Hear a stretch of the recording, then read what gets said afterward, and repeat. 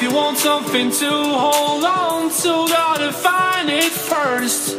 But here I am, cause I've been laying under palm trees, waiting for the summer, knowing there's nowhere to go. Cause I am happy.